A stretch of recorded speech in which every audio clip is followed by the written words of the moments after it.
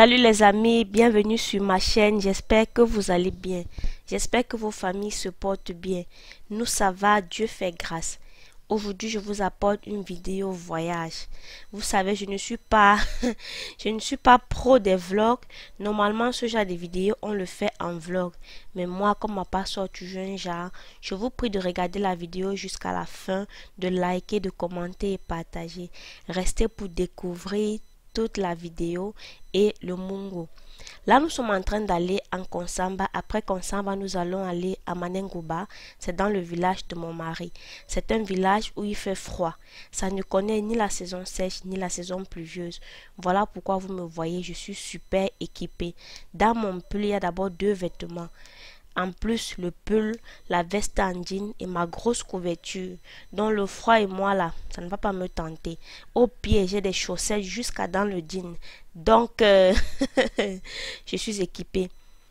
Pour aller en Konsamba, il faut se lever tôt pour arriver tôt.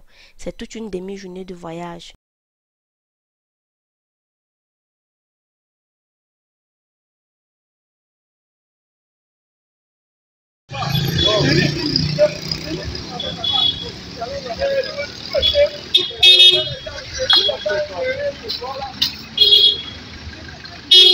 Bota na frente da Niki.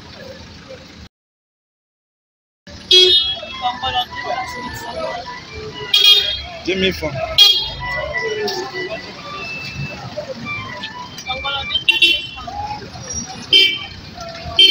Bangladesh.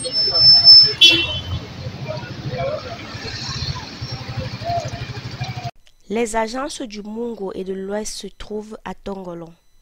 Donc pour y aller, il faut quitter de la maison, aller à Tongolon déjà la veille pour réserver les bus. Et quand on réserve, on est sûr d'avoir une place tôt le matin, surtout quand on veut partir tôt, hein, vaut mieux réserver la veille. Donc pour aller au Mungo, donc, on passe par l'ouest. Voilà pourquoi on va prendre la voiture à Tongolon où se trouvent toutes les agences de l'ouest. On partait donc au Mungo à Manenguba pour un mariage traditionnel. Je n'ai pas pu filmer la cérémonie parce que ça faisait intervenir beaucoup de personnes. Et je n'étais pas sûre que toutes ces personnes-là devaient vouloir apparaître sur euh, ma chaîne YouTube. Voilà pourquoi je partage avec vous juste le voyage et je vous permets de découvrir les routes, les merveilles du Cameroun. Restez jusqu'à la fin les amis, restez jusqu'à la fin s'il vous plaît. Pour les nouveaux qui découvrent ma chaîne, je m'appelle Nathalie. Je suis maman de deux filles. Je vis à Yaoundé, au Cameroun. J'ai créé cette chaîne pour échanger avec vous sur le quotidien d'une maman. Sur ma chaîne, je partage avec vous tout. Je partage avec vous le lifestyle camerounais. Je partage avec vous les recettes camerounaises. Et ensemble, on s'échange, on s'entraide.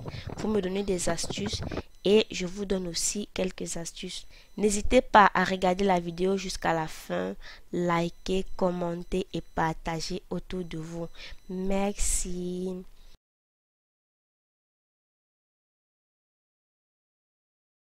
Là, nous sommes à l'agence, vous voyez, le tarif classique Yaoundé Konsamba, c'est 5500. Je crois bien c'est ce qui est affiché là. Mais le tarif VIP, qui est ce bus-là, pas de bagage, c'est 7000 francs. Et lui, il part à 7 heures. Il y a peut-être 3 bus VIP. Ce qui est bien sur le bus VIP, c'est que ça respecte les heures. Ça respecte les heures, ça respecte les passagers. Or, les autres bus ne respectent pas les heures. Vous pouvez quitter le bus de 8 heures, peut se retrouver en train de quitter à 10 heures, 11 heures même. Tu te retrouves en train d'arriver au Mungo à 17h, 18h, genre dans la nuit. Chaque fois que je vais au Mungo, je suis tellement contente d'y aller, tellement, tellement contente parce que c'est la zone où j'ai grandi. C'est vrai que je n'y vais pas régulièrement, mais au moins une fois l'année, au moins une fois l'année, je me retrouve au Mungo pour un événement. C'est où j'ai grandi, c'est où mon mari aussi a grandi. Parfois, euh, l'événement c'est dans ma famille, parfois c'est dans la sienne. Mais là, on allait dans son village où moi j'y allais pour la première fois parce que ma belle-mère ne vit pas au village. Elle est toujours au Mungo, mais pas dans le village. Hello, comme vous l'avez constaté, nous sommes déjà à l'agence. Les biens ont été réservés hier, donc nous sommes juste arrivés là pour confirmer. Le bus est déjà garé, on attend juste pour décoller. Yaoundé, Konsamba, c'est toute une demi-journée, parfois même toute une journée. Raison pour laquelle il faut quitter tôt, il faut se lever tôt, il faut vraiment, vraiment être là tôt. Si surtout quelqu'un veut arriver à temps, obligé de se lever tôt.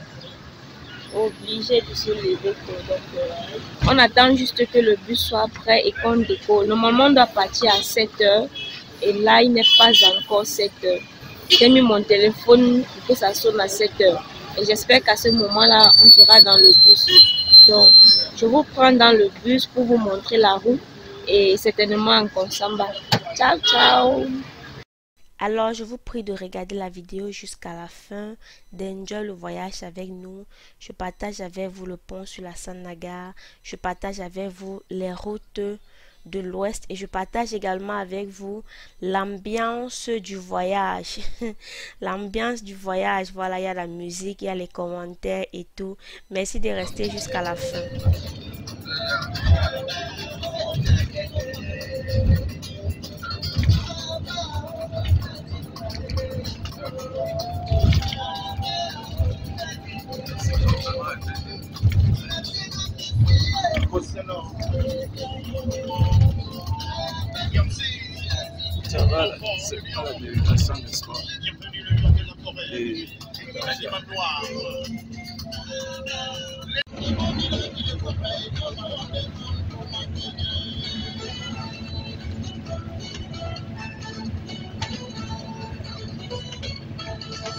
Thank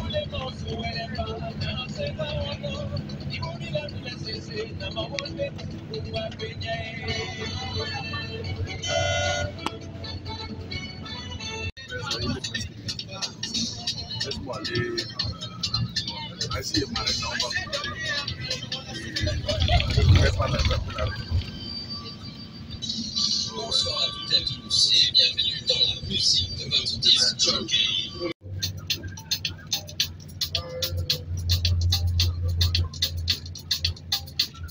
We are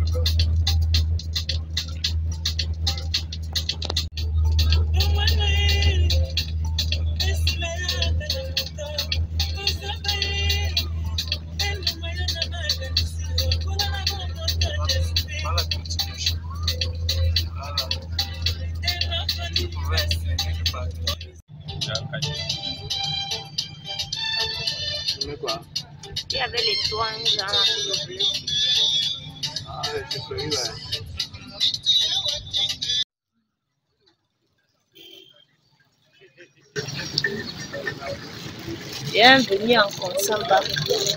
Hein?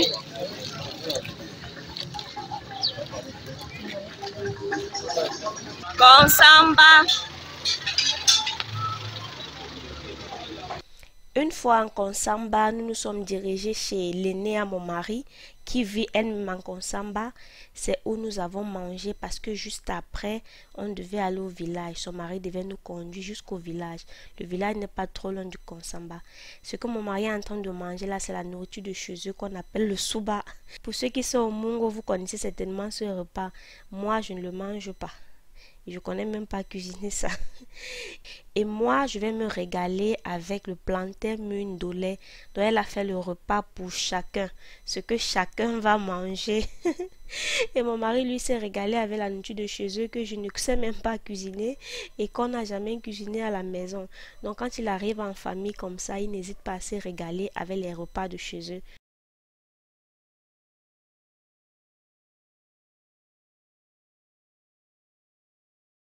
Après avoir bien mangé, nous avons donc pris la route du village. Là maintenant, c'est Konsamba Manenguba, passant par Ndunge. Voilà, on va aller au village. Euh, une partie de la famille était déjà sur place. Nous nous sommes quittés loin de Yaoundé et sa sœur nous a attendus pour qu'on puisse manger avant de reprendre la route. Sinon, elle aussi, elle serait déjà arrivée au village. Donc, ma belle-mère était déjà là, mes autres belles-sœurs étaient là, les cousines de mon mari et tout elles étaient déjà au village pour nous attendre parce qu'on partait pour un mariage. Et moi, j'arrivais au village pour la première fois. C'était une belle découverte. En fait, quand euh, ta belle famille ne vit pas au village ou ta belle-mère ne vit pas au village, c'est vraiment difficile d'y aller comme ça juste pour pour découvrir. Sauf si tu as vraiment beaucoup de temps, mais avec les enfants, c'est pas du tout évident. Du coup, quand on va dans la belle famille, c'est beaucoup plus chez ma belle-mère qui ne vit pas dans le village. Vous voyez un peu. Donc, c'était la toute première fois que je découvrais le village de mon mari. C'était la toute première fois qu'un événement m'amenait au village. Un événement qui était vraiment très proche de lui. Donc, pour les événements qui sont dans sa famille, mais pas très très proche de lui, on n'est pas souvent obligé d'y aller à deux. Donc, il y va seul. Donc cette fois-ci, on est parti ensemble à Manengouba 2 c'était une belle découverte, sauf le froid, vraiment.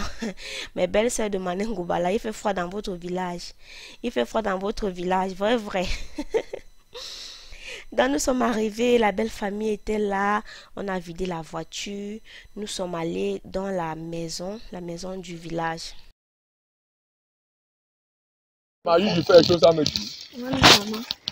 Voilà, le vieux. Où est mon platine? Mon platine noir. C'est ça, si. Oui. Tiens, tiens, voyez ça.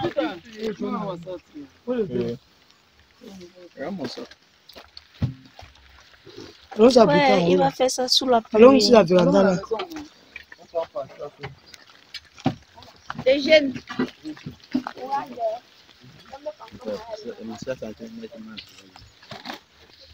utaenda Arusha kwa mama Aisha ya Arusha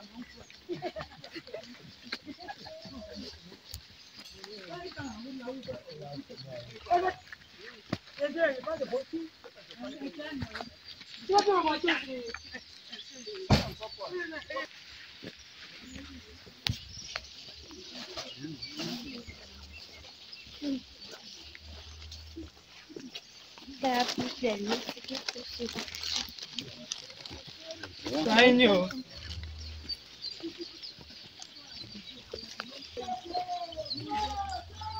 Ça maman. Bonjour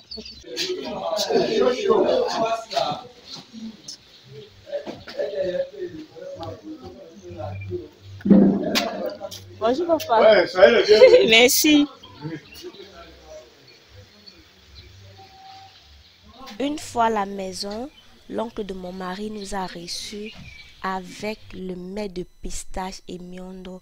Dans leur famille, vraiment, les hommes aiment beaucoup cuisiner. Mon beau-père aussi, il aimait beaucoup cuisiner. Ses frères aussi et mon mari aussi a copié ça d'eux. Donc, quand on a posé sur la table, il fallait que la belle fille que je suis et qui en plus arrive au village pour la première fois passe au service. J'ai donc servi tout le monde, et on a mangé. Ensuite, il y a même eu un deuxième plat. On a très bien mangé au village. Seulement le froid. Ça,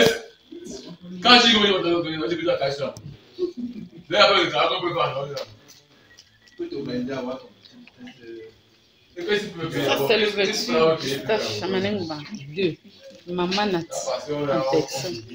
Pour sa première fois. Ah, Direct. Oui, si tu me plus, me C'est du mets de pistache. Quand tu fais la moto côté 5 000 chaque jour, tu peux comme. Ça nous fait. Voilà, tu veux côté On mange pas pour se rassasier.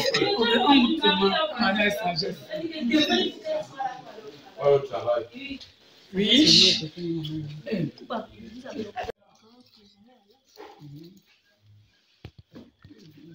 Joyeux anniversaire.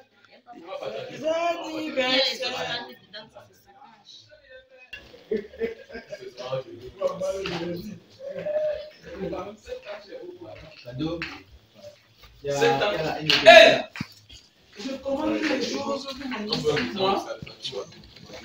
passé depuis. C'est bon, mais ça. Mais voilà, moi, demande le coup de ça. Voilà, je condamne un peu. Eh, tu as vu qu'à cacher le lion. Ah, Ok. donc, tu peux faire un monde de monde dans le monde. Eh, après, ça va me moquer. Donc, on peut tomber de la pluie. Mais il fait le violon. Non, c'est pas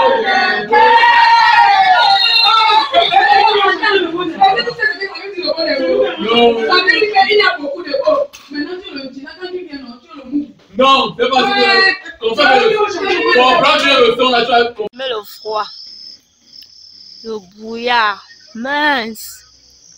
Coucou. Non, pas trop le moi, Après avoir mangé, on m'a fait une petite balade dans le village.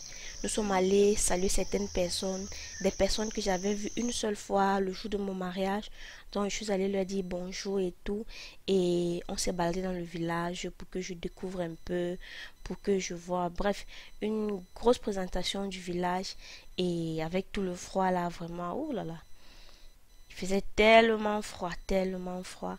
Mais on s'est baladé et tout. euh, c'était très bien, c'était bien de se balader comme ça, de découvrir et voilà.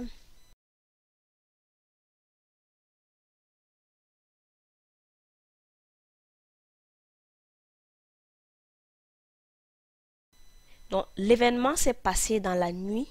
Lors de l'événement, j'ai même d'abord dormi jusqu'à parce que le froid d'abord te donne le sommeil. Et le lendemain matin, pendant que les autres couraient pour aller se laver avant de prendre la route, moi j'ai dit nada, je pars. Je pars comme ça, je vais arriver chez moi à Yaoundé me laver. Mon mari, lui, il est resté parce que son emploi de temps euh, est assez bien. Il peut rester jusqu'à lundi. Là, nous étions partis un samedi matin et directement là, je suis en route le dimanche. Je suis allée en Konsamba pour prendre le bus de Yaoundé. Comme je n'avais pas réservé, tous les bus étaient pris. J'ai donc repris la route de Konsamba à Douala pour me retrouver à une agence à Douala et prendre le bus pour Yaoundé. C'est comme ça que j'ai pu arriver chez moi le dimanche. Sinon, si j'attendais seulement à Konsamba, j'allais prendre le bus de 15 heures et arriver à Yaoundé très tard. Heureusement que quand les bus étaient déjà tout pris, il ne restait plus que le bus de 15 heures. J'ai dit, hop, je pars à Douala, directement en Konsamba, je suis allée à touristique, j'ai pris touristique pour Douala et de Douala, j'ai donc pris pour Yaoundé. Vraiment, heureusement que j'ai j'ai vite réfléchi, hein, sinon j'allais rester là. Et le lundi, il faut apprêter les enfants pour aller à l'école, la fatigue du voyage et tout. Vraiment, quand les mamans se déplacent, ce n'est jamais comme quand un homme se déplace. L'homme, lui, peut prendre son temps. Hein. Il prend son temps, il n'y a pas de souci. Les amis, j'espère que cette vidéo vous a plu. J'espère que vous l'avez regardée jusqu'à la fin. J'espère que la... j'espère que le voyage avec vous a été, que la balade a été. Ce n'était pas grande chose, donc je voulais juste partager avec vous ce petit week-end-là pour vous montrer un peu le style de vie camerounais. Voilà. Portez-vous bien les amis et on se retrouve très prochainement pour une nouvelle vidéo. Bye bye.